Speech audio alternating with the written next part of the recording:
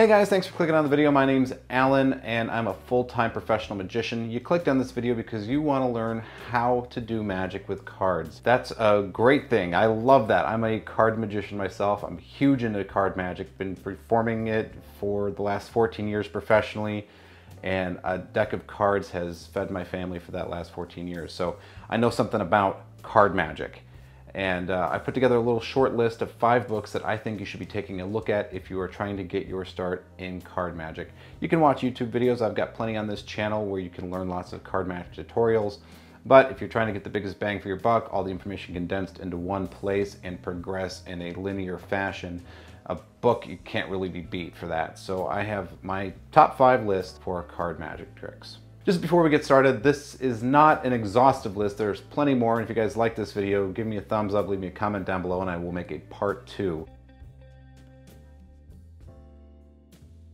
Okay, so Foolproof Card Tricks for the Amateur Magician by Karl Fulves. This is put out by Dover Publications. They pick up a lot of public domain magic books and reprint them to keep them alive and allow magicians of future generations to be able to access this kind of really great information. Also known as New Self-Working Card Tricks. This has tons, and I mean tons. You look at that, look how thick that thing is, of tricks with cards. That's all that's in here.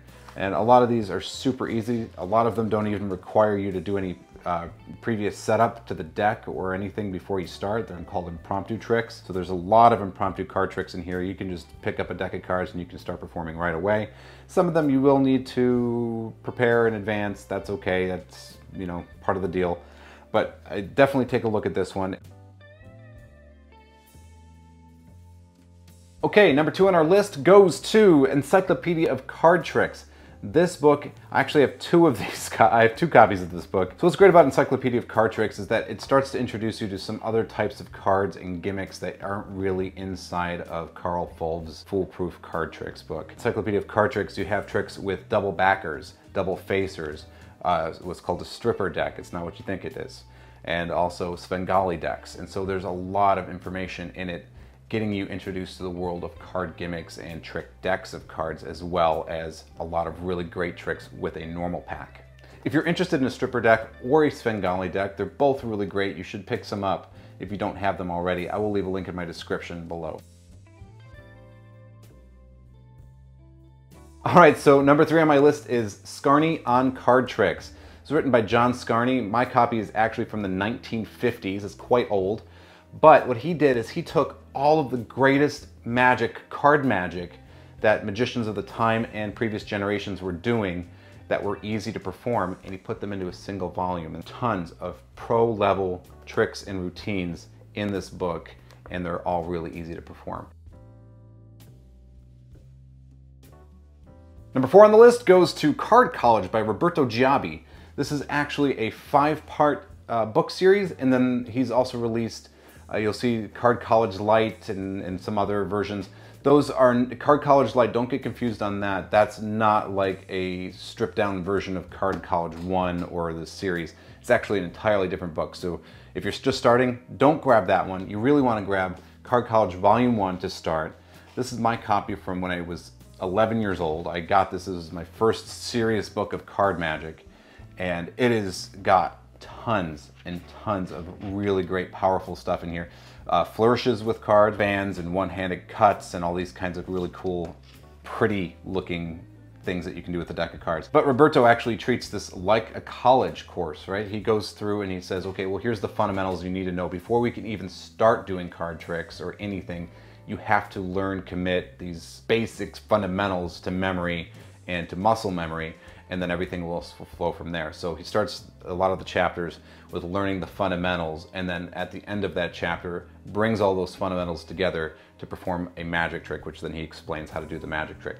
Since you've worked on everything up to that point, once you get to the end of the chapter, when you learn the magic trick, you're gonna have a much easier time knowing how to perform it correctly. Roberto Giobbi, I mean, you could, this one book is what launched my entire magic career and made me, you know, no slouch when it comes to card magic. This is, this is a serious book for serious card magicians. Okay, now I said that number five on the list was actually two books. It is, it's Card Control by Arthur Buckley. This is lots of really heavy duty card manipulations called move monkey stuff in the industry, where you're trying to learn all of the moves and all the ways you could possibly control the cards.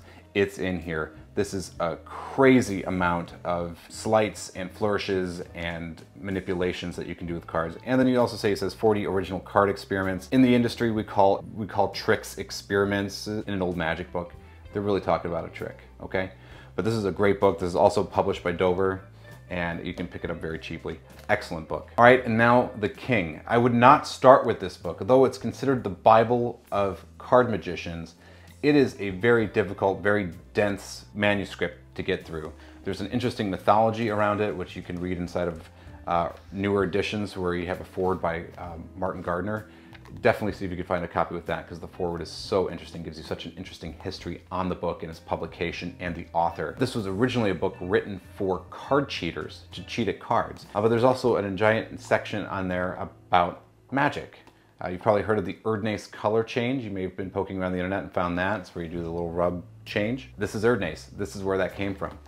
This is an excellent book, but it is extremely difficult to get through. There are only a few magicians in the world who have truly mastered everything that's in its pages. It is something that you can come back to your entire life and find new hidden gems and things you didn't realize you missed. So guys, those are my book recommendations. If you're trying to learn how to do card magic tricks, I, this is a really great place to start. Of course, there are other books. If you want to hear more, you wanted me to pick another top five, please leave me a comment down below or thumbs up on this video. If it does real well, we'll make a part two.